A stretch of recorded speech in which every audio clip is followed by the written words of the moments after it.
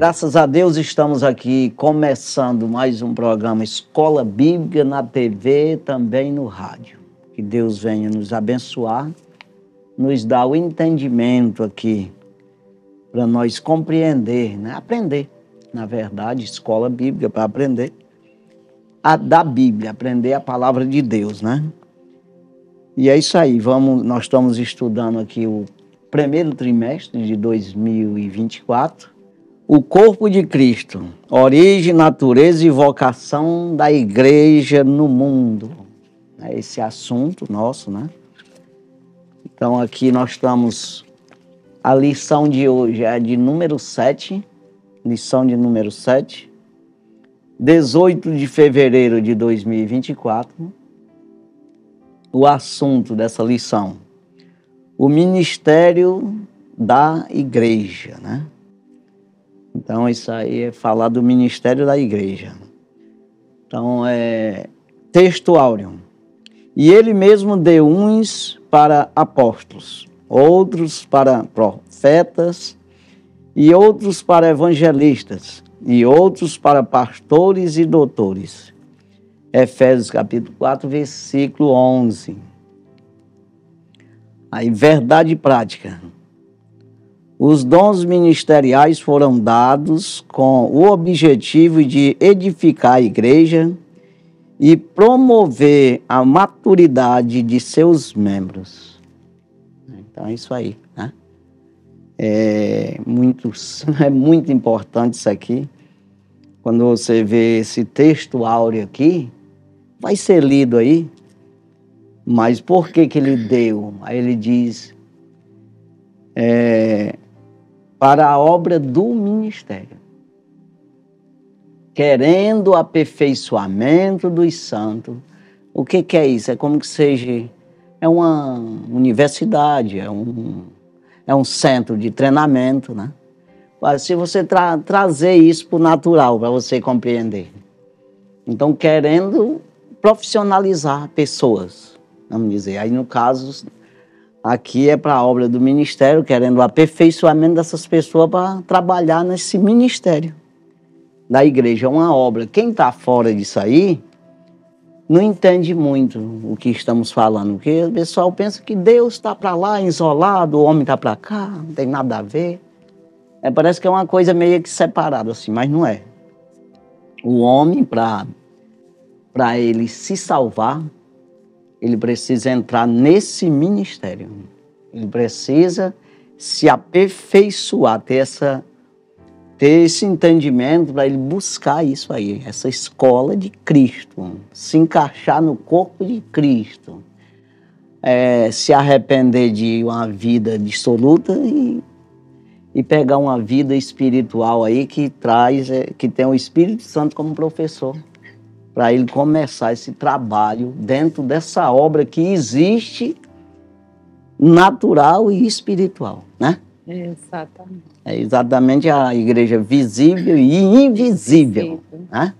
Então, nós fazemos uma obra visível que ela se torna a produção, o, o fruto, é invisível. É isso aí que é acumular tesouro no céu. né? Você faz visível uma obra visível, que é usando nossos membros mesmo, mas o resultado é invisível. Por isso que o mundo não entende isso aqui, só se acreditar. Então já passo para você. É a paz do Senhor a todos. Estamos felizes por estarmos mais uma vez compartilhando a palavra de Deus. É um privilégio podermos estar aqui estudando mais uma lição. Já estamos na lição de número 7. Cada uma é um grande aprendizado para todos nós e aos ouvintes, aos telespectadores. Que Deus abençoe grandemente as suas vidas, suas famílias e que o Espírito Santo possa trazer a revelação dessa palavra, o quanto ela é importante para o nosso crescimento espiritual, para nos aproximarmos mais de Deus. Nós só podemos conhecer o Senhor através da palavra. Esse foi o caminho que ele deixou e se nós buscarmos nessa palavra, nós encontraremos toda a verdade acerca do plano de Deus para a nossa vida. E uma lição importante que fala sobre o ministério da igreja, nós que estamos atuando, que somos membros, nós vemos como de fato isso funciona. Na lição passada nós vemos né, um título tão importante sobre organismo e organização. E hoje a gente vai ver como é, existem esses cargos, né, essas funções, né, e o quanto elas são importantes para esse crescimento, essa maturidade desse corpo, né, porque a igreja, a igreja é um corpo e esse corpo precisa estar todo o tempo num desenvolvimento, num progresso, né, e a cabeça é Cristo. Todo o conselho vem dele, todo o ensinamento vem dele, e nós que somos parte desta igreja, estamos desenvolvendo, estamos buscando esse crescimento. Isso é muito importante. Pois então, é, aí eu quero ler aquele versículo que fala que aonde fala dos dons espirituais, né? Que é 1 Coríntios capítulo 12 e o versículo 7, que vai concordar aqui, vai ser é, com, aqui com a verdade prática, né?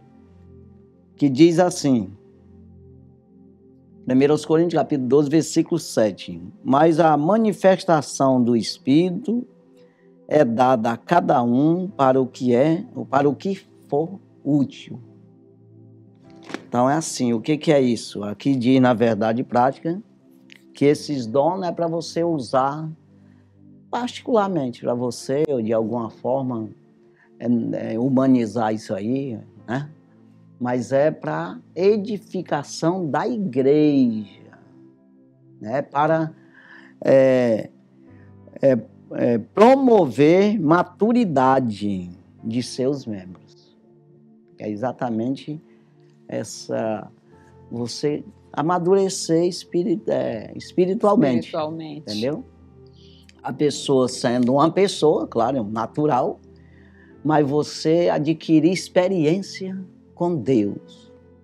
Então você ter aumentar a fé, a esperança, a confiança no Senhor. E fazer, é, a confiança nos traz já essa responsabilidade.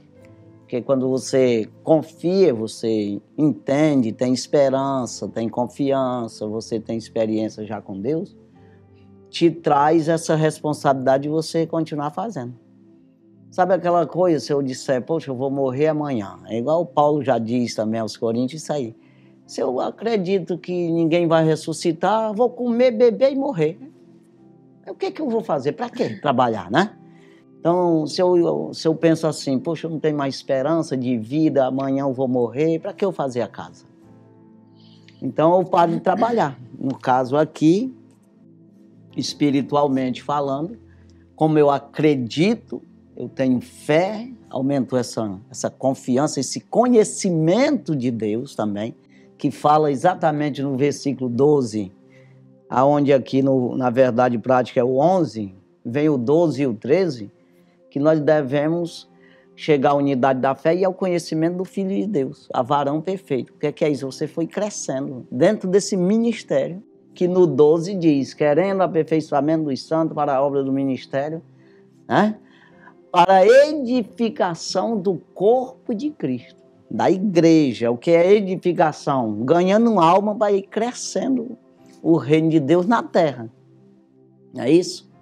Vai volumando a coisa, vai né? É, mais, né? Porque não basta mais ter membros. esse corpo, mas que seja sustentado. E a sustentação vem exatamente é, da palavra, os dons que Deus dá exatamente. Ele dá. É para ir ganhando alma. É, os né? dons é dado por Jesus, mas o serviço é prestado pelos homens para o bem-estar espiritual Sabe aquela de coisa, todo o corpo. Né, como que você tem uma, uma plantação de, de laranja, seja qualquer coisa, vamos falar laranja. E aí, todo ano, você trabalha o ano todo acrescentou mais mil, tantos pés de laranja. No outro ano, mais tantos pés. No outro ano, aí vai crescendo, chegando a milhares de pés de laranja. É assim. Então aqui milhares de almas, milhares e milhões e, e é isso aí. Mas quem ganha é nós mesmos, entre nós. É isso aí. Então esse trabalho, quando eu tenho confiança, eu procuro fazer, porque eu sei o resultado. Né? É, como o apóstolo Paulo fala aos Efésios, né? Que para a gente confiar, não, é 1 Coríntios capítulo, capítulo 15, que ele fala que nós devemos, 1 Coríntios aqui também, sendo o 15, aqui estava no 12, mas no 15, ele diz aqui no versículo 58, portanto, meus amados irmãos, sejais firmes e constantes, sempre abundantes na obra do Senhor, sabendo que o vosso trabalho não é vã no Senhor. Ou seja, então sei que vai me trazer resultados aqui. Eu sei que é uma responsabilidade minha. E quando eu, quando eu acredito nisso, o próprio Jesus, o próprio Espírito vai investir em mim. Sabe aquela visão que ele tem muito mais do que um, um, um, um grande empreendedor? Muito mais que isso, que Deus é todo, toda sabedoria está nele. Então ele vê essa capacidade em você, né? né? Exatamente. Ele vai investir em você, esses dons é acrescentado em você. Não somente um, mas vários dons. Mas você vai ter um ministério. É que é um, é um que aqui fala de um, um ofício, né? Sim. Né? Que é você vai ser separado, diferente de outras pessoas. Sabe aquela coisa de você, um grande empreendedor, você separa as pessoas? Ah, esse aqui eu vou colocar de como supervisor ali, porque ele tem uma visão diferente. Então ele vai colocando, isso aí é um ofício, né? Supervisor, mas ele tem os dons, ele, esse supervisor, como é que ele vai supervisionar se ele não sabe fazer nenhum serviço? Ou ele não tem experiência nenhuma. Então, então ele tem, o Espírito te dá experiência, né? É como você é um, um cirurgião aí, que ele vai ele vai te dando mais sabedoria, né? Quanto mais você faz. Então é assim, os dons é isso aí, né? É. Ele é variedade, né? Mas tem o ofício, né? Que é exatamente te colocar um é, é, apóstolo, outro evangelista, outro profeta, profeta pastores, pastores e mestres. Né? mestres são os dons ministeriais dados por Jesus. Jesus é. mesmo fez a declaração de que ele mesmo edificaria a sua igreja. Então, a fórmula de edificação da igreja que Jesus estabeleceu foi esta, dando dons aos homens para que os homens usem essa graça, esse favor em prol do crescimento do reino. Então, Exatamente. esse trabalho do, do crescimento da obra, é, porque o primeiro aqui está apóstolo, ele tem mais um papel de, de fundar, de desbravar, de, de ir de, de, de primeira mão, né? Exatamente. ao alcance da, das almas, ao alcance das, daqueles que ainda não conhecem a Cristo. O profeta é aquele que, com muita ousadia, muita unção, tem a capacidade de proclamar o reino de uma forma em que traga essa, essa compreensão para aquele pecador da necessidade que ele tem de Deus. O evangelista também com o ministério é, em prol de, de almas, de, de trazer essas vidas para dentro da igreja, que já é um pouco diferente do ministério pastoral, que é apacentar e cuidar dessas pessoas que já foram trazidas, que já foram né, é, ganhas né, pelo trabalho desses é, tanto apóstolo como profeta, como evangelista. Então, o pastor ele apacenta, ele cuida, e o mestre, o doutor, aquele que vai ensinar agora essas verdades para que seja fixado na mente e no coração deste novo servo que seria o discipulado, né, que nós já estudamos em lições passadas. Então, cada ofício desse é muito importante, muito valioso. Então, importa que cada um identifique a sua vocação no reino e tenha essa, essa motivação de gerar isso em outras pessoas. Né? É, nós vamos falar aqui exatamente sacerdote dos ministério sacerdotal, Sim. né?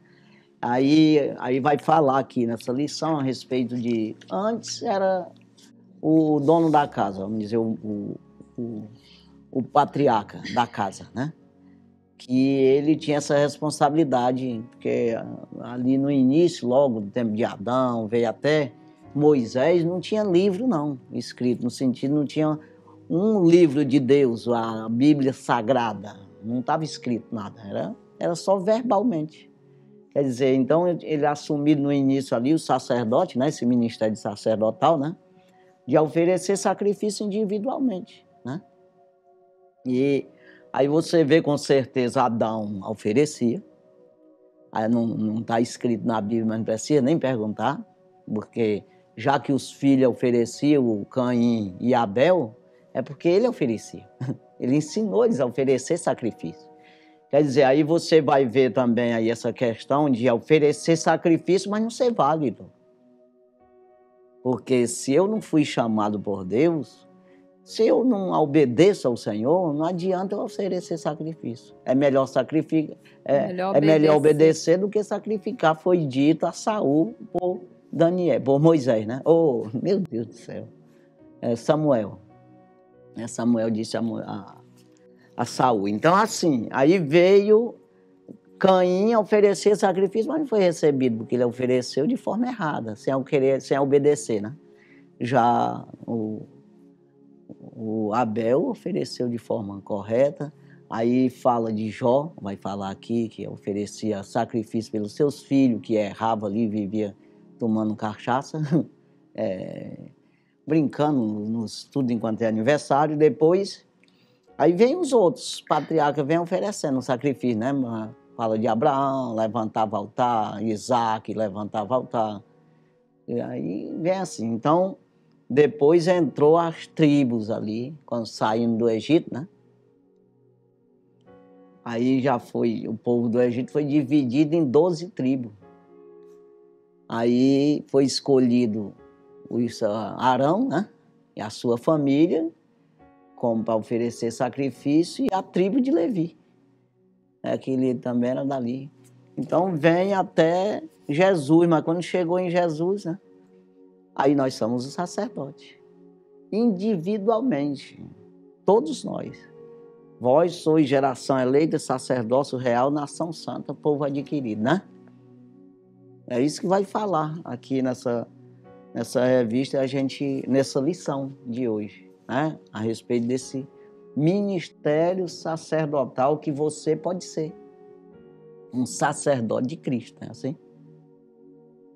Então é individual agora, não é mais eu preciso de um sacerdote. É claro que nós temos esse ministério que a gente tem que levar em consideração isso aí, né? É, a liderança ela a está liderança. acima de nós. Nós isso. precisamos nos sujeitar porque essa é a hierarquia de Deus. Estamos com representantes de Deus, então precisamos honrá-lo, né? A linguagem do reino é a linguagem da honra, então não tem como individualmente nós dizermos que somos independentes e servirmos a Deus dessa forma, porque Deus é Deus organizado. Nós estudamos na lição passada exatamente sobre isso. Então, essa, essa parte de liderança, hierarquia espiritual, isso aí é algo muito importante para o ser humano. É, por... Até dentro da própria família tem que ter essa organização. Né?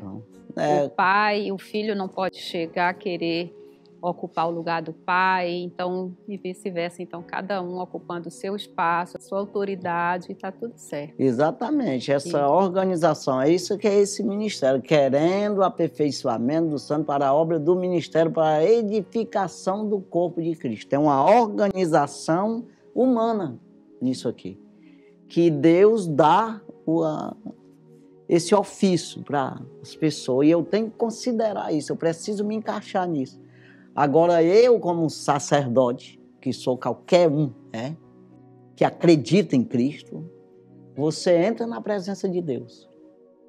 Individualmente, sem a necessidade de ir lá com esse pastor, seja quem for, precisa entrar na presença de Cristo. Intercede por mim como era o sacerdote antes, que eu dava o carneiro lá, ele imolava o carneiro, tirava o sangue e ele entrava lá, no lugar santo, com o sangue do carneiro que eu levei, vai espiar o meu pecado lá fora. Não, hoje não, eu entro eu mesmo, porque Cristo me deu essa passagem. Só que, mas sempre tem que ser por Cristo, né? por Cristo, pela palavra, por obediência. Então tem que ter esse entendimento, mas existe a organização, né? Que eu tenho que estar dentro dessa, que é nós estudamos a organismo vivo, que é exatamente a igreja, que é, que é viva, que tem uma é, invisível, mas está o, é o reino, é o reino do céu aqui na terra, né? esse, esse organismo, mas tem a organização do organismo. Então é isso aí que nós vamos falar hoje, que é exatamente desse ministério que organiza isso aí, né? Aperfeiçoa para a edificação, não é assim? Exatamente. Exatamente. Vamos lá, leitura bíblica uhum. em classe. Vamos lá. Está em Efésios capítulo 4, versículos do 11 ao 16. E ele mesmo deu uns para apóstolos, e outros para profetas, e outros para evangelistas, e outros para pastores e doutores, querendo o aperfeiçoamento dos santos para a obra do ministério, para a edificação do corpo de Cristo, até que todos cheguemos à unidade da fé e ao conhecimento do Filho de Deus, a varão perfeito, à medida da estatura completa de Cristo para que não sejamos mais meninos inconstantes, levados em roda por todo o vento de doutrina, pelo engano dos homens que, com astúcia, enganam fraudulosamente. Antes, seguindo a verdade em amor, cresçamos em tudo naquilo que é a cabeça, Cristo, do qual todo o corpo, bem ajustado e ligado pelo auxílio de todas as juntas, segundo a justa operação de cada parte, faz o aumento do corpo para a sua edificação em amor. Pois é, eu quero falar do, do versículo 14 aqui, né? para que sejamos mais, é, é, não sejamos mais meninos inconstantes, levados por todo o vento de doutrina. Qualquer coisa que me ensina, que fala com relação a Deus, eu acredito que Deus está tá nesse negócio. E não é assim. Por isso que eu preciso estar dentro dessa organização com esse organismo. Nessa obediência para que eu possa ter certeza que eu estou no lugar certo. Que os ensinamentos tá certo. Quando eu tenho que combater o mal, ou seja, a heresia, que é o, que é o, é o, os ensinamentos errados, que é aquilo que é o vento de doutrina, qualquer vento. Não pode ser, né? Qualquer vento de doutrina, né? Isso. É, que aí o que, que ele diz aqui? Enroda por todo vento de doutrina pelo engano dos homens que, com astúcia, enganam fraudulosamente, fraudando, né? com fraude na palavra de Deus. É, trocando, inventando, colocando palavra deles mesmo, que traga algum resultado para eles mesmos e não para a obra de Deus, que é o que nós estamos falando aqui, para edificar a igreja, não é para sugar a igreja ou desmanchar, é, levando de solução. Não, pelo, pelo contrário, é solução. Não é isso aí? É, e esses dons ministeriais, eles vêm exatamente para dar este alicerce esse, essa, essa firmeza, essa visão, essa visão, pois aqui Jesus já estava promovendo uma completude para que a gente não venha exatamente a, a estar é, distante desse crescimento. Então, essa aqui é a fórmula do crescimento. É, são os dons que Deus dá para a igreja através de ministros, pessoas vocacionadas e pessoas que tiveram também o desejo de, é. e se permitiram ser usados por Deus. É, como eu já falei aqui no início, você que está fora disso, você não vai entender esse negócio. É, acha que Deus é, tem nada a ver com essas histórias aí de ser organizado, que ser uma coisa viva aqui, um reino de verdade aqui na Terra. Isso tudo é só uma conversa de caronchinha, mas não é, é realidade. Aí você tem que acreditar, por isso que precisa acreditar, para você começar a penetrar nisso, entrar nessa construção. Se você entrar nisso aí, aí começa a clarear a tua mente. Você começa a entender. Sabe aquela coisa de eu nunca nem vi um avião, mas se eu começar, for para o aeroporto, eu começar a conversar com as pessoas, começar a ajudar os, os mecânicos ali, daqui a pouco, não é que eu estou entendendo do avião? Estou compreendendo até a aerodinâmica do bicho, como é que ele se segura no ar, se levanta, baixa.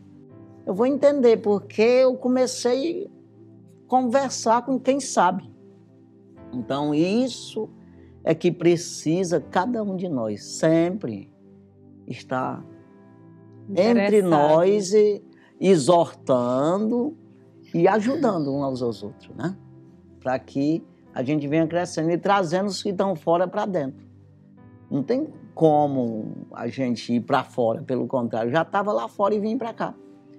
Para esse reino, eu não posso sair lá para fora. Tem gente que acha que ah, esses crentes são orgulhosos, não sei o quê, não querem. Não, é para você vir. Eu vou sair do que está bom para o que está ruim. Não, eu já fui ruim, vim porque é bom.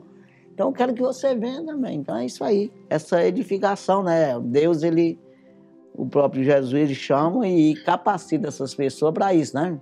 Deus dá autoridade e capacidade àqueles que de bom grado recebem o chamado, a vocação, que é o Espírito que vai testificar com o Espírito do homem que, que nós somos filhos de Deus e se Deus revela essa salvação ao ser humano, muito mais Deus vai revelar o propósito dele para a nossa vida, o que nós temos a desenvolver como missão aqui na Terra.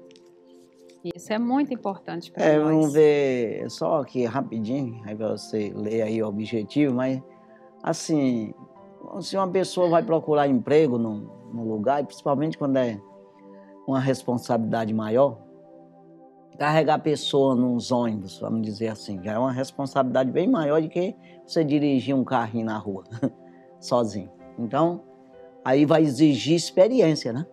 Aí tu tem experiência nisso aqui. Então, da mesma forma, você vai adquirindo experiência dentro do reino do céu e você vai passando para as pessoas. Por isso se faz necessário as pessoas que estão fora acreditar nisso, de quem está dentro acaba tá anos luz aí na tua frente e você às vezes questiona as coisas sem saber de nada, né? Sem saber como é, o que que se trata. Então vamos para aqueles que já sabem, aqueles que têm experiência, que chamam na Bíblia de ancião, nós vamos até falar sobre isso, presbítero, ancião, né? Então, vamos lá, objetivo. Objetivos da lição: apresentar a doutrina bíblica do ministério sacerdotal observada na antiga aliança e praticada pelos crentes na nova aliança. Segundo objetivo, elencar os cargos ministeriais instituídos na igreja primitiva. Terceiro objetivo, explicar as qualificações de natureza moral e social exigidas para o exercício ministerial. Exatamente. Dá de entrar já na.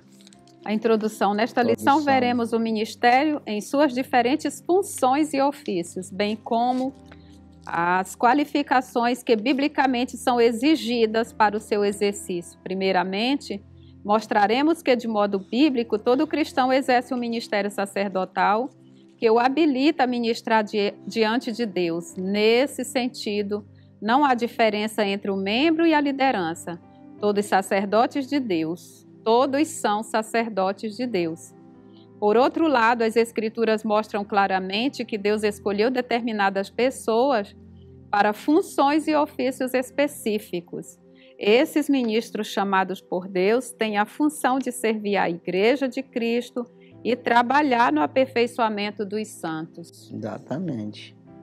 Palavra-chave: ministério. Primeiro tópico? Primeiro tópico: ministério sacerdotal de todo crente.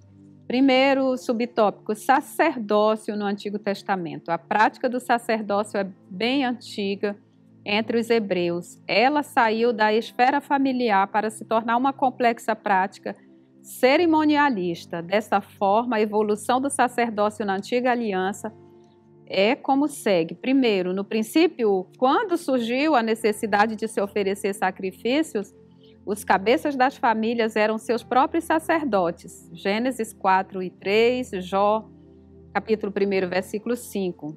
Segundo, assim, na era dos patriarcas, encontramos o chefe da família exercendo essa função. Gênesis capítulo 12, versículo 8. 3. É, Israel como nação foi como nação foi posta como sacerdote para outros povos. Êxodo capítulo 19, versículo 6. 4. No Monte Sinai, o Senhor limitou a prática sacerdotal à família de Arão e à tribo de Levi. Êxodo capítulo 28, versículo 1.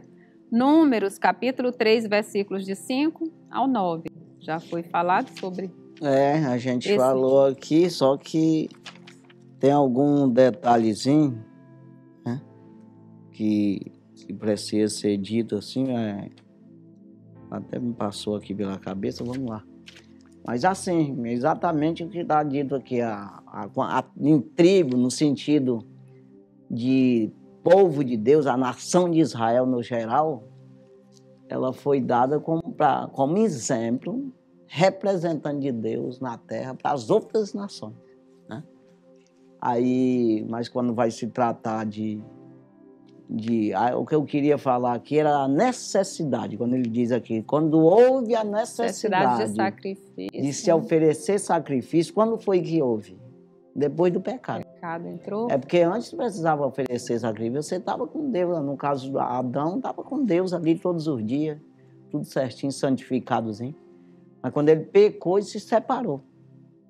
Aí para ele se livrar do pecado ou de alguma forma ele, dominar o pecado, ele teve que oferecer sacrifício. Então houve a necessidade, aí começou.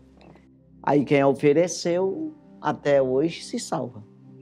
Quem ofereceu de bom grado, quem oferece às vezes pensando que está oferecendo mais, mais de, de mau grado, no sentido não é, não é de espírito e em verdade. Foi o caso de Caim, né? Foi o caso de, de Judas Iscariote, né?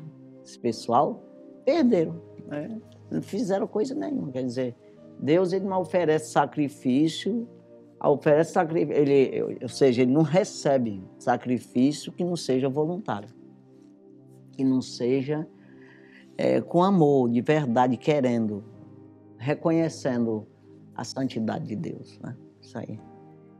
Então vamos Aí ele fala de, de Abraão, né? Aí fala das tribos. Então Sim. vamos para frente aqui. Segundo subtópico. Uma doutrina bíblica confirmada no Novo Testamento. O Novo Testamento apresenta o sacerdócio da antiga aliança como um tipo de Cristo. Hebreus capítulo 8, versículo 1, que operou o derradeiro sacrifício pelos pecados do povo. Assim, não mais uma família, tribo ou nação é detentora do sistema sacerdotal. Agora é a igreja que constitui o sacerdócio universal de todos os crentes. 1 Pedro 2 e 5, Apocalipse 5 e 10, Jeremias capítulo 31 versículo 34. Logo, se debaixo da antiga aliança o sacerdócio era um ministro do culto, agora sob a nova aliança, como sacerdotes, oferecemos o próprio corpo em sacrifício vivo. Romanos capítulo 12, versículo 1 e 2. Ministramos o louvor como fruto de nossos lábios. Hebreus capítulo 13, versículo 5. 15. Intercedemos pelos outros. 1 Timóteo capítulo 2, versículo 1. Hebreus capítulo 10, versículo 19 e versículo 20. Proclamamos as virtudes daquele que nos chamou das trevas para a sua maravilhosa luz. 1 Pedro capítulo 2, versículo 9 e mantemos comunhão direta com Deus. 2 Coríntios capítulo 13 e versículo 13. Exatamente, esse sacrifício aí, né? Que a gente vê é que é individualmente mesmo, né? Desde que você esteja encaixado nisso aí, numa congregação, numa denominação que isso segue a doutrina dos apóstolos. Desde que você esteja encaixado nisso aí, você é diretamente com Deus, intercedendo pelos outros, por você mesmo, oferece sacrifício de louvor. O que, que é isso? Confessar o nome do Senhor, defender o reino de Deus na terra, né? de maneira correta, querendo sempre aprender, sempre buscando o que é correto, para não ficar o nome de Deus não ser blasfemado. Né? Não, eu sou filho de Deus, mas eu faço tudo errado, não é conforme a palavra de Deus que eu vi agora esses dias, uma, uma mulher aí que é famosa dizendo que Deus está acima dos mandamentos. Porque ela não sabe o que é Deus, né? Porque o Deus de verdade é o Deus dos mandamentos. É o que disse. Ele mandou, está dito e está falado e acabou. É aquilo mesmo. Como é que ele está acima? Ele é acima, mas ele não vai desmanchar o que ele fez. A palavra de Deus é verdadeira. Então ela falou de outro Deus que não concorda com o Deus dos mandamentos. Porque Deus, ele é os mandamentos. É isso aí. Quando você tem os mandamentos dele, então você tem ele. É isso aí que eu quero dizer. Se não tem os mandamentos, não tem ele. Então ele não está acima, não. Ah, por causa disso. Porque senão seria uma coisa de homem. Um dia é uma coisa, outro dia é outra. Então, não, ele é confiável. É o que ele diz está dito para a eternidade. É isso aí. Então, vamos aqui no. Subtópico de número 3, uma doutrina bíblica resgatada na reforma protestante. No catolicismo romano, o sacerdócio é limitado à figura dos padres. Não há a função sacerdotal para os membros da igreja, Nesse caso, o Papa é considerado o vigário de Cristo na Terra. Por isso, cabe destacar aqui que o resgate da doutrina bíblica do sacerdócio universal dos crentes, tal é, qual se encontra no Novo Testamento, foi uma obra da reforma luterana no século XVI.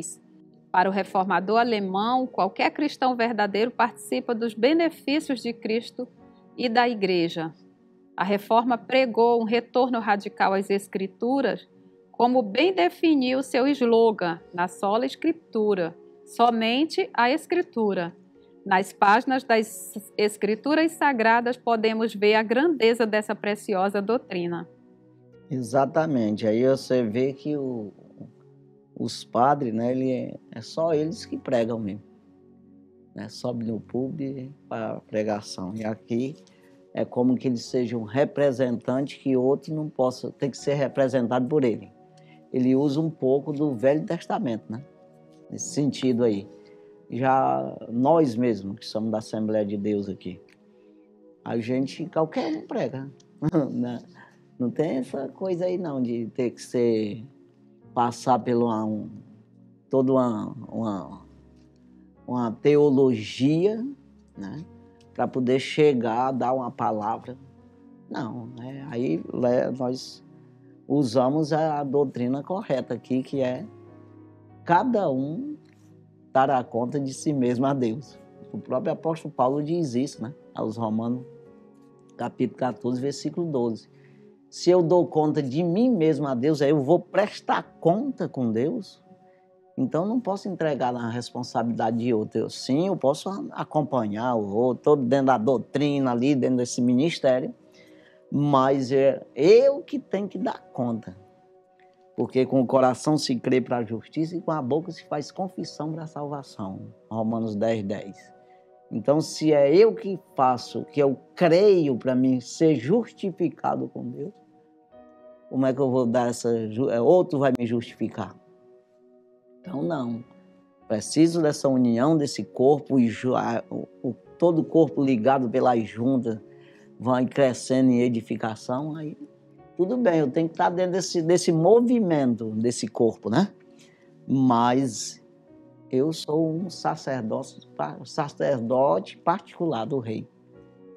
Né? É porque na antiga aliança esse sacerdote ele era um mediador. Então, ele Exatamente. tinha que se apresentar a Deus com sacrifício, mas ele precisava estar com a vida muito pura. Ele tinha que oferecer por ele, ele mesmo. Ele precisava oferecer por ele mesmo e antes ele precisava é, estar com a vida adequada com aos certeza. princípios, senão ele morreria.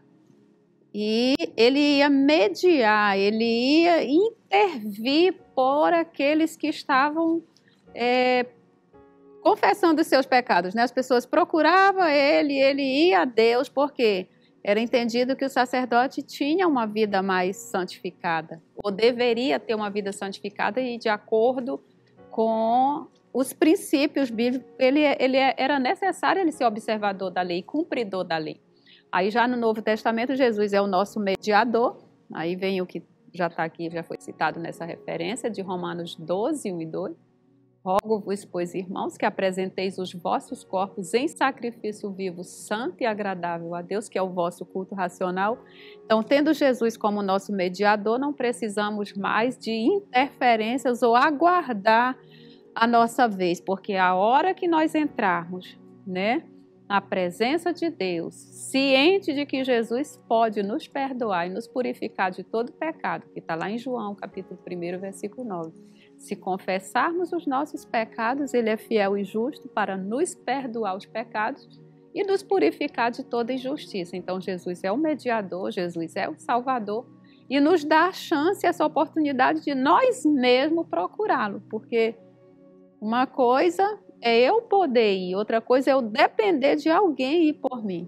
Né? Então, Jesus nos dá essa chance de buscarmos a Ele. É, você e... vê que, que tem Hebreus aqui. É, é, acho que ainda vai falar em Hebreus 10. Ah, o 19 e 20 está aqui, né? 10, 19 e 20, que diz Dando, pois, irmãos, a ousadia para entrar no santuário pelo sangue de Jesus, pelo novo e vivo caminho que ele nos consagrou. Sim. Pelo véu, isto é, pela sua carne. Então, quer dizer, então você vê que ele consagrou você. Né? Aí você vê em Hebreus, Hebreus diz todas essas coisas, que essa, essa transição essa transição aí. de sacerdote é. natural para Jesus de uma ali. antiga para uma nova é, aliança, um novo concerto, uma é nova é que ele é um, o sumo sacerdote sem pecado. Sim. É diferente.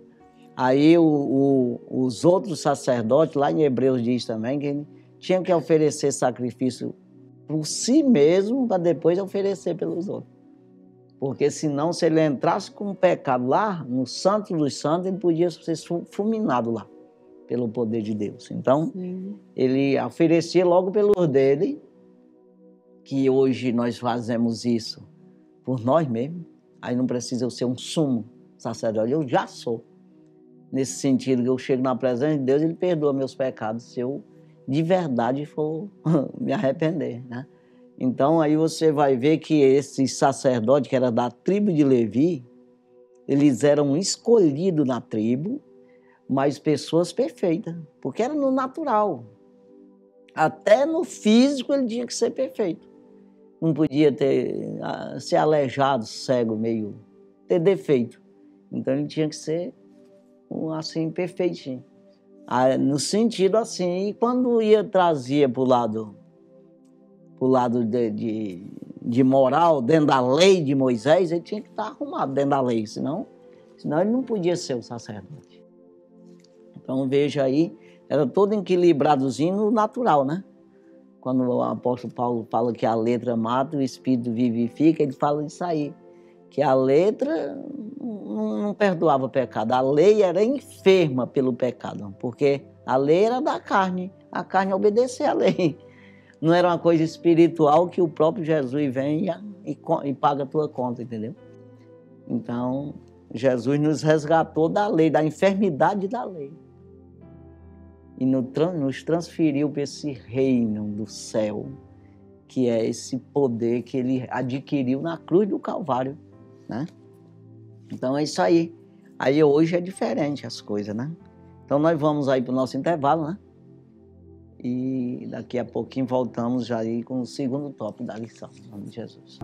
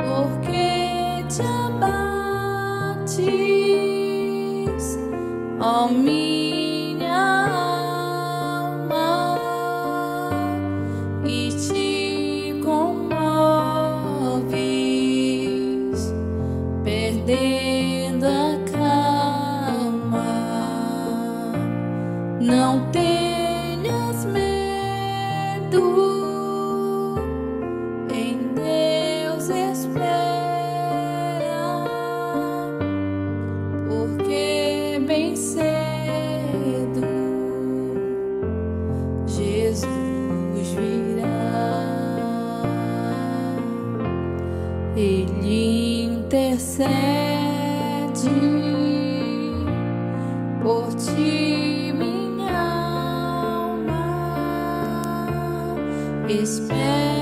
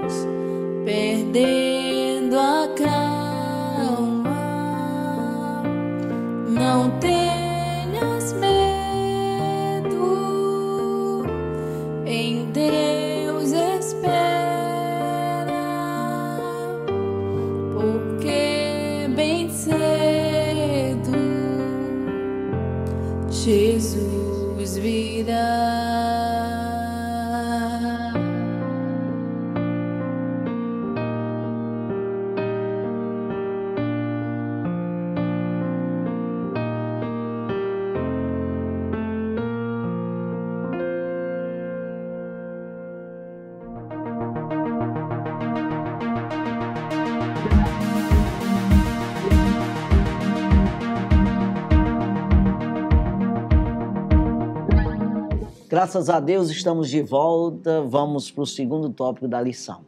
Segundo tópico da lição, a estrutura ministerial do Novo Testamento. Primeiro subtópico, o ministério quíntuplo. O texto de Efésios, capítulo 4, versículo 11, diz que Deus pôs na igreja apóstolos, profetas, evangelistas, pastores e mestres. Essa relação é descrita comumente como ministério quíntuplo da igreja. Primeiro, a letra A, apóstolo, alguém é enviado em uma missão. Mateus capítulo 10, versículo 2, Lucas capítulo 22, versículos 14, Atos capítulo 13, versículo 2. Alguns requisitos podem ser destacados para alguém ser um apóstolo. Primeiro, ter estado com o Senhor Jesus, Atos capítulo 1, versículo 21 e 22 ter sido uma testemunha da ressurreição de Jesus, Atos capítulo 1, versículo 22, ter visto o Senhor, Atos capítulo 9, versículos do 1 ao 5, ter operado sinais e maravilhas, 2 Coríntios capítulo 12, versículos de 1 a 5. Assim, no Novo Testamento, o apostolado pode ser visto mais como uma função do que um ofício. Exatamente, é uma função, né? Então, é mais do que um ofício, né? Aí você vê que é mais dado pelo próprio Deus. Exatamente. É uma autoridade, né? Uma função que Deus deu para ele. Então não é você se titular é, no natural, mas você sentir isso, de que Deus te ama. Isso aí. aí Deus é com você, né? Claro. Vamos prosseguir aí. Que mesmo que ele não trabalhasse numa igreja local, que na realidade ele trabalhava mais externamente, onde o evangelho não tinha sido pregado, então ele já sentia essa responsabilidade individual, independente de talvez imposição de mãos, de um, uma liderança, é. é isso? É. A letra B, profeta. O profeta era alguém inspirado e autorizado para falar em nome de Deus. Nesse aspecto, ele era um porta-voz de Deus.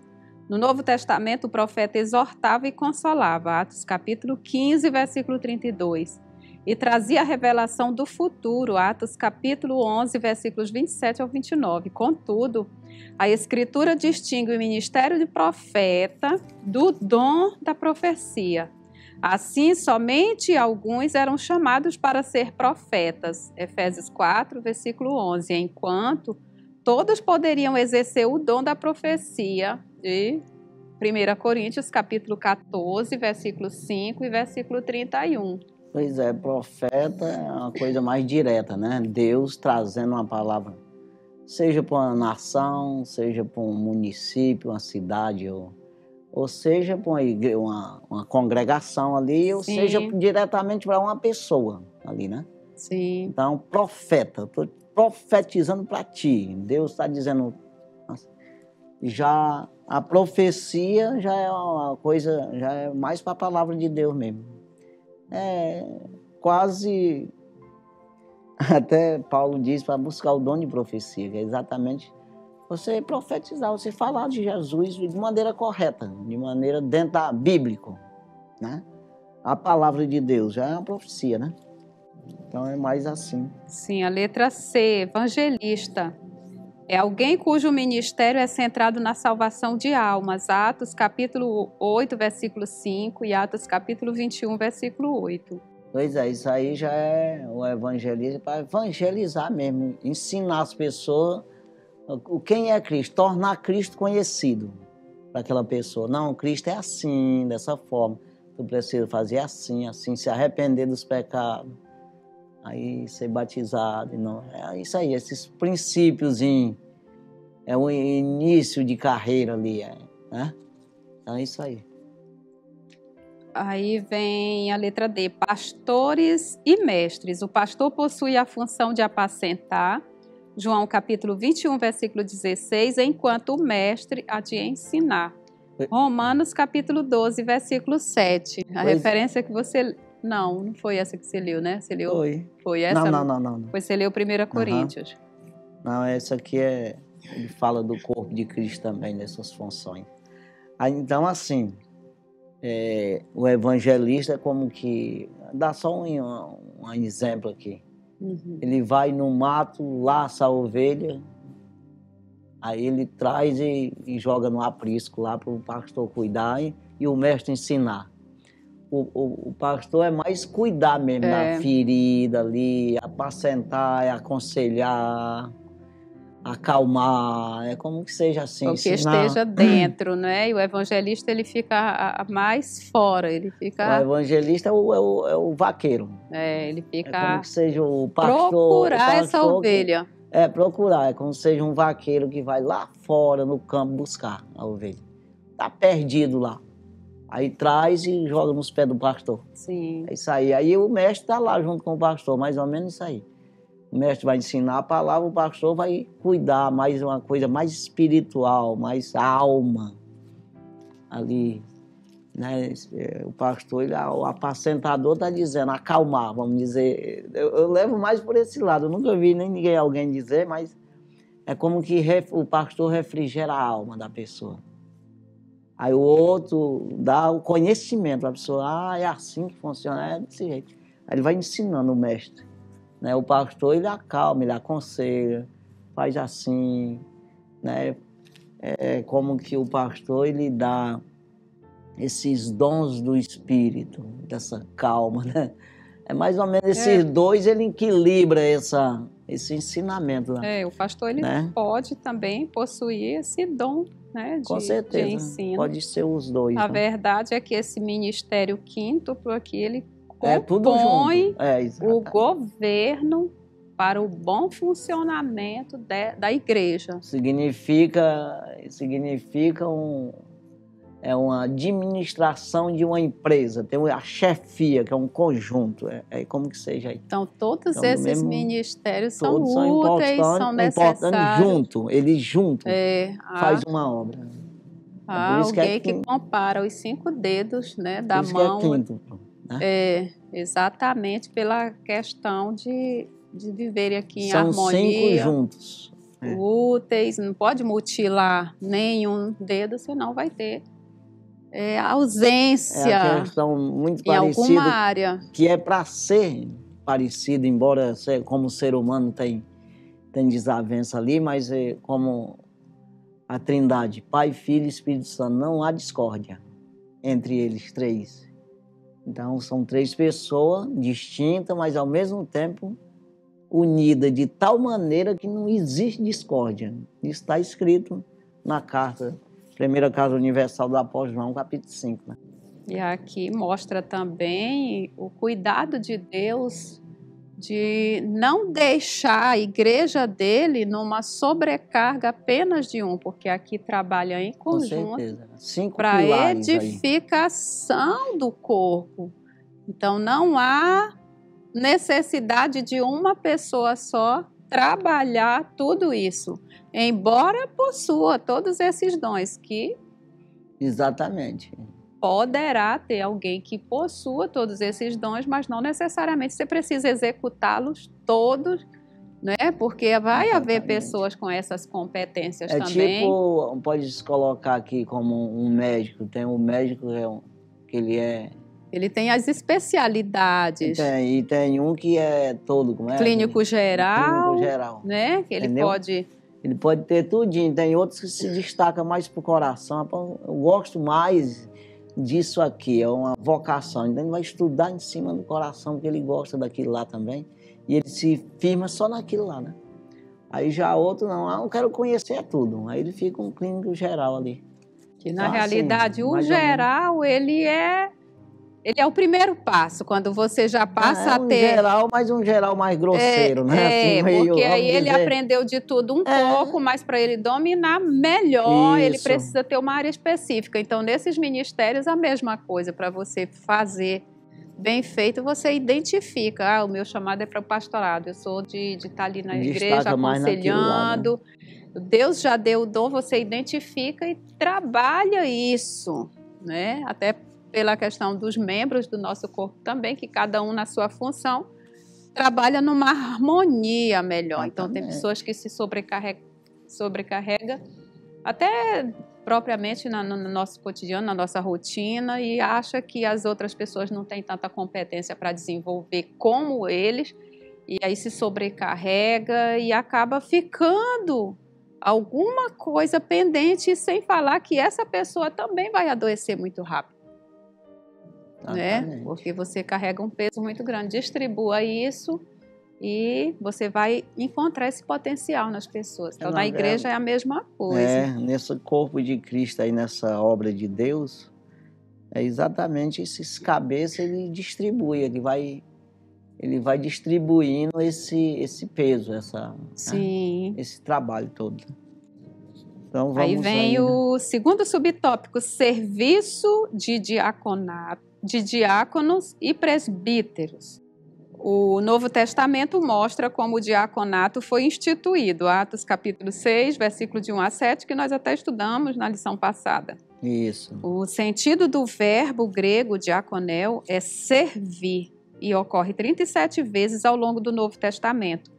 Esse significado aparece em Atos, capítulo 6, versículo 2. Da, da mesma forma, o substantivo grego diaconia ocorre 34 vezes no texto neotestamentário. Ele também aparece com esse sentido de servir, em Atos capítulo 6 e versículo 1. À luz do contexto de Atos 6, observamos que o diácono era um serviço dedicado mais à esfera social da igreja. Por outro lado, o presbítero, traduzido como presbítero, ocorre 66 vezes. No texto grego do Novo Testamento, em Atos 14 e versículo 23, o termo é usado o termo é usado para se referir aos anciãos que presidiam as igrejas. Esse mesmo sentido é usado por Lucas em Atos capítulo 20, versículo 17. Quando Paulo se encontra com os presbíteros de Éfeso. Dessa forma, o presbítero era alguém que supervisionava, presidia ou ainda exercia alguma função pastoral. É, o presbítero já é mais, mais profundo, mais igreja, mais, mais ali, vamos dizer, ó, de organizar, né? mais perto do pastor, vamos dizer assim. Já o diácono, ele já é mais assim, a questão social, de, de organizar mesmo, como foi, foi destacado aqui em Atos dos Apóstolos, a questão de as viúvas, quem é verdadeiramente viúva, quem está quem tá necessitando mesmo de ajuda social, eles organizar esse lado aí, esse lado, é, ajudar o pastor a, a, a encontrar essas pessoas de maneira não, não ser injusto, de, alguma forma fazer a obra com justiça. Né? Porque e hoje mesmo a gente foi atrás disso aí. Aí você vai ver que muita gente se coloca como vítima sem ser, né? Então tinha que ter essas pessoas que fossem atrás para organizar isso aí. Ver quem verdadeiramente precisava ou quem estava querendo, como o apóstolo Paulo escreve a Timóteo, essas questões aí. De pessoas que se, se fingem ser uma coisa sem ser, né? né? Que nesse Então- caso já são é, é, pessoas que são já ali separadas. A liderança local identifica essas necessidades e separa para esse serviço específico. Não necessariamente, de acordo com o texto, essas pessoas possuem esses dons ministeriais. Essas- pessoas foram ali separadas por Deus para esse serviço. A liderança identifica que tem essa Isso. necessidade É. e separa essa pessoa para aquele serviço. É isso que a gente está falando desses cinco ofícios aí que Sim. foi desse ah, apóstolo, pastor, doutor. Então ele, esses homens é que já tem essa visão mais ampla, como Moisés tinha, Sim, né, assim para para organizar as outras pessoas, colocar cada um nos seus dons ali de maneira que ajude ele, né? exatamente. Como Moisés colocou, aconselhado por Jetro, né? Colocou chefe de mil, de trezentos, de cinquenta e de dez. E acho que parece de cem também, de cinquenta e dez. Quer dizer, só chegava nele depois de mil. Significa um caso muito grave Aí trazia para ele, porque ele, dizendo o Jetro, estava certo, do jeito que está fazendo, morre tu e esse povo tudo. Dessa forma, tu resolveu o problema de todo mundo. Não existia. Arruma, é, organiza isso aí, pega a pessoa temente a Deus, que seja honesta, tá, tá, tá, já foi daí. E já vem essa organização. Então, da mesma forma, Paulo fala instituir. Não, não é Paulo, ali a igreja primitiva, os apóstolos, instituir o diácono para fazer esse básicozinho lá. Aí já sobrando já para os presbíteros, já mais próximo, aí vem o pastor, que já é uma coisa já mais. Apóstolo já é lá para. Tá entendendo? E essa é uma então, das qualidades da liderança, é conseguir ter essa visão de Isso. treinar outros para que, colocar discípulo. numa necessidade que isso sempre vai ter demanda, você ter pessoas qualificadas, como no caso Josué que substituiu É. Moisés, ele ficou ali junto, acompanhando. Ele foi treinado, então ele sucedeu, né, com a aprovação de Deus. Claro, Deus já tinha em vista quem sucederia Moisés exatamente pela preparação. Então, a responsabilidade desses líderes que possuem esses dons, esses ofícios na igreja é traduzir na vida daqueles que têm chamado essa mesma visão de liderança. Se for o evangelista, que outros possam ser atraídos por esse ministério, né? E eles possam receber desse que já está pronto esse treinamento. E da mesma forma com os profetas, com os evangelistas, pastores e mestres, porque não é interessante você passar anos e anos e anos não produzir discípulos. É o caso de Jesus, já pensou Jesus deixar só um ou dois? Ele chamou logo doze. Dali ele foi fazendo um cordiscípulo, cordiscípulo, cordiscípulo, é outros. Né? Então, os discípulos, os apóstolos já foram fazendo discípulos. Andava atrás de Jesus e uma vez mesmo ele treinou 70 Sim. de uma vez, quer dizer, não era 12. Aí já, ó, pessoal, vamos lá ver se vocês vão passar no teste. 70. Aí depois, quando ele foi, isso multiplicou-se, foi ligeiro. Na primeira pregação foi para quase 3 mil. Só que eles ganharam. Então, assim, vamos. Porque o evangelho precisava chegar aos confins da terra, precisa chegar aos confins da terra. É. Então, precisamos Agora desse é quase só ler, porque nós já. Qualificados para o tempo. ministério. Uhum. É isso? Uhum. É. O terceiro tópico, As coli- é. as qualificações para o ministério. Primeiro, primeiro subtópico, qualificações de natureza moral. O apóstolo Paulo expõe as qualificações para o exercício ministerial nas suas cartas pastorais. 1 Timóteo capítulo 3, versículos de 1 a 15 e Tito capítulo 1, versículos de 5 ao 9. Aqui listamos apenas algumas delas. Não apegado ao dinheiro, ou seja, não avarento.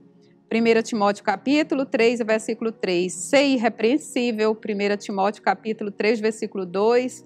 Tito, capítulo 1, versículo 6. Ou seja, alguém que não possua nenhuma, nenhuma acusação válida.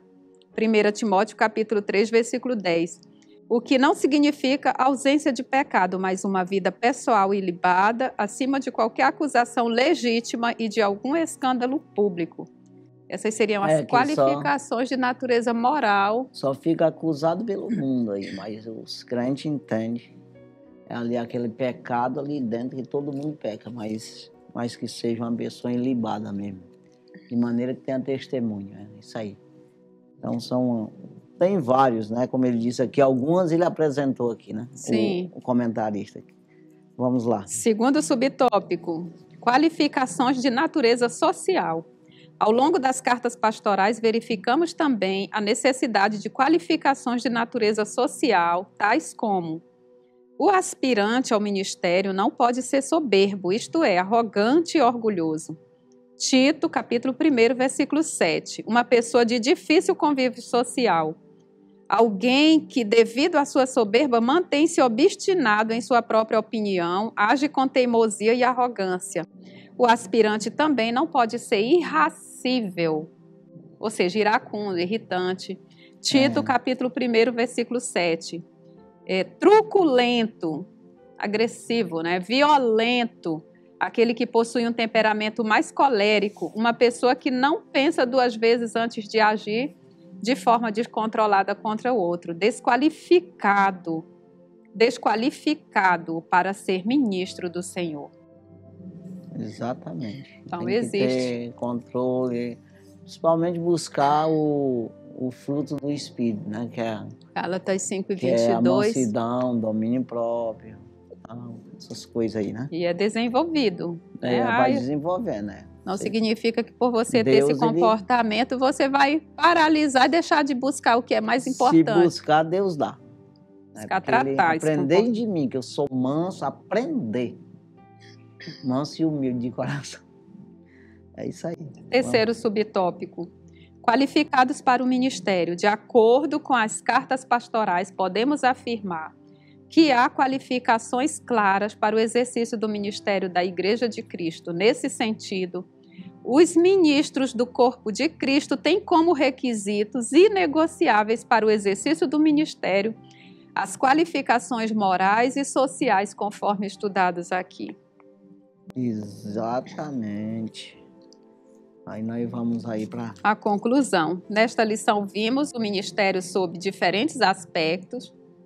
Vimos que a doutrina do sacerdócio universal dos crentes é inteiramente bíblica. Todo crente tem o privilégio de apresentar a si mesmo e a outros diante de Deus, sem a necessidade de mediadores terrenos. Vimos também que Deus pôs na igreja alguns para o exercício de determinadas funções específicas. Esses ministérios devem ser vistos como dons de Deus à igreja. Exatamente. Então é uma coisa bem clara, né? Você, se você tem vontade de ser vaqueiro, aí você vai procurar ser vaqueiro. É, Dentro da obra de Deus é assim, tem esses dons, você, quando você procura, o mais interessado mesmo é o Senhor. Então ele te, te coloca logo lá. Não é homem, homem não vai mandar nisso aí. Porque de alguma forma Deus vai colocar você. Porque quem manda nos homens é Deus. Então, quando você você tem essa vocação, Deus já quer. Orai ao Senhor da Seara, a Seara é grande, os obreiros é pouco. Orai ao Senhor da Senhora para enviar, que envie obreiro para a sua Seara. Então, os obreiros são, sempre vai ser pouco. Quando um se apresenta, quem está mais interessado é o próprio, o próprio Deus. Quer dizer, o próprio Senhor, ele vai te escolher, ele vai te colocar nisso aí. Então, fique sabendo disso. A única pessoa que pode te tirar disso aí é você mesmo. É você desistir, né? Sim. Então, é igual um grande empresário. Ele jamais vai mandar as pessoas embora, a pessoa que é, que é responsável, que faz o serviço direitinho. Ele vai mandar embora, fica a vida inteira lá. Então, assim, é- a Deus é muito mais que isso. Ele quer que você, fazendo o trabalho, você vai ficar sempre. Então, bote isso na cabeça. Se você, de alguma forma, perdeu o cargo e tudo, a culpa está em você mesmo. Você vai procurar e vai achar o defeito. Ou então Deus quer te colocar no maior. Porque diminuir quem tem capacidade, quem está se entregando à obra, jamais isso acontece. Então Deus ele faz, ele te usa, né?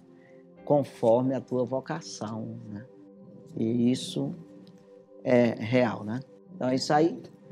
né? nós estamos encerrando o nosso programa e até a próxima semana, se Deus assim permitir, estaremos aqui com mais um programa Escola Bíblica na TV no rádio. Deus abençoe grandemente a sua vida, fique na paz do Senhor Jesus. Amém. Amém.